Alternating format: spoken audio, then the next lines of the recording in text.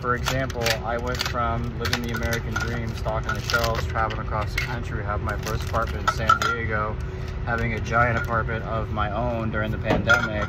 Then I had my third and last apartment in Miami, Florida, to losing my job and losing everything.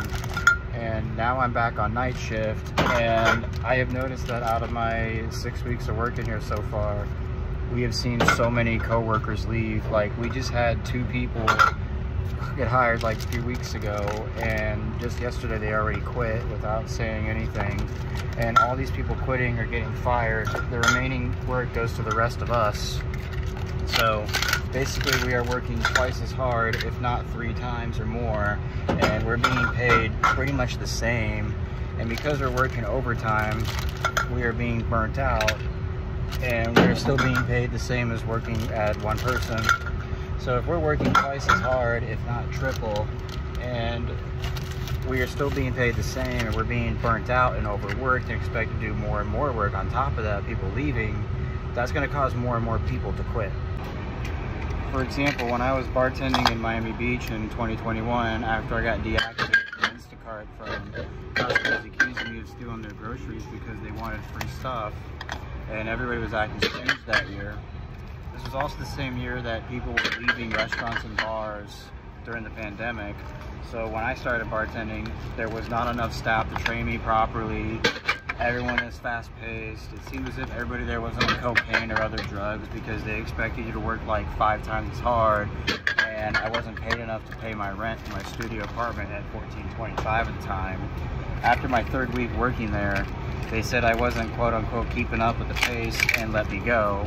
Like they will train me some for 30 seconds worth of time and then they all run away when I need them or to check people up because I didn't have a POS number under my name at the time. And the thing is with all these bars and restaurants, they too put the work on the remaining staff and new people like me are not able to catch up because they just don't know how to train or treat people well like they used to. And that's why bars and restaurants alone are becoming a dying market because they can't keep the staff that they have or properly train them. When I finished bartending school and got my certificate passing with a 98%, I went to an arcade bar called The Main Event and it was already a dying activity. There was people going around saying that they weren't making money like they used to and they say they stopped scheduling people after three days because nobody sticks around. Uh, when I emailed saying I will stick around for like weekends and stuff like that, I had no response. After the third day, I was already taken off the schedule and the system. Basically did free labor again. Not paid for my time. And after that, I went in to go turn in my uniform my coworkers and managers literally ran up to me and like pushed me over to the office, talking over to the manager, like I was intimidating or that I was gonna file a lawsuit, which I could have and I should have went to the Department of Labor for basically doing free labor and not being paid for my time. Like, it took more time in the hiring process, which was like five days, to only work for three days for free. But I guess that's what companies do to cut corners. For example, when I was in Boston handing in my resume to bartending school, and my long work history and experience at the bar, I handed in my resume to 30 different bars in Boston and 25 in the state of Maine.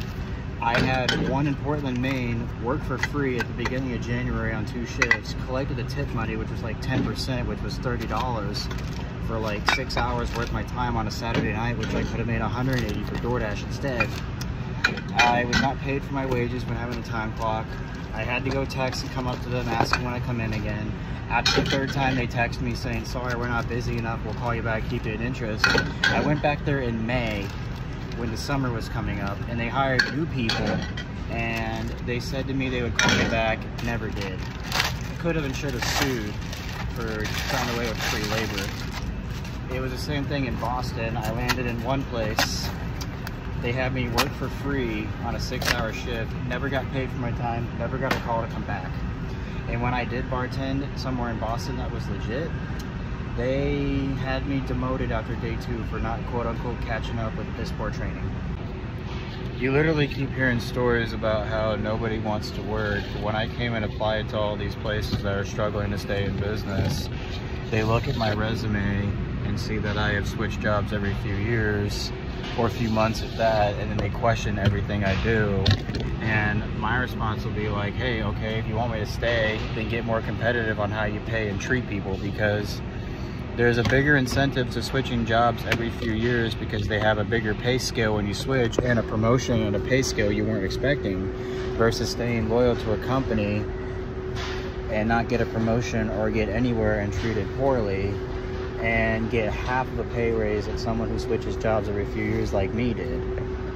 So the reason nobody wants to work and that all these businesses like restaurants and bars are not getting any help is because despite them not knowing how to treat or train people, after 2021 when the economy reopened, inflation was on the rise and at the time, no one can afford to live on 840 let alone $14 an hour, it wasn't a livable wage.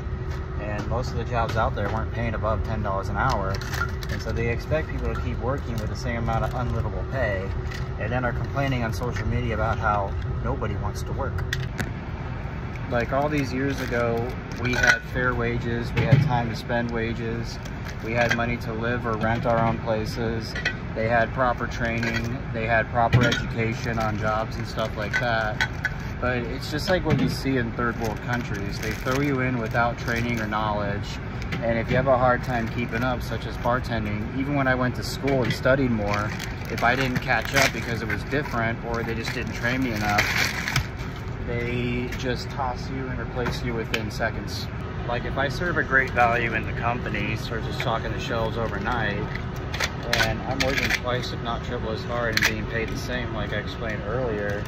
And I don't get paid enough to have a place to live or enough to like make a living then that causes people like me to quit as well because it's like communism. If we work all day and night and we don't get paid enough to make a living or pay our bills in that matter then what is in it for us to continue working and when you are working at these jobs, it's really degrading work. And on top of that, you have people uh, higher up like office workers who hate their jobs giving you a bunch of crap about what you do and kind of mock and make fun of you because you work at these jobs and they think they're better than everybody. That's definitely the reason we don't want to work anymore.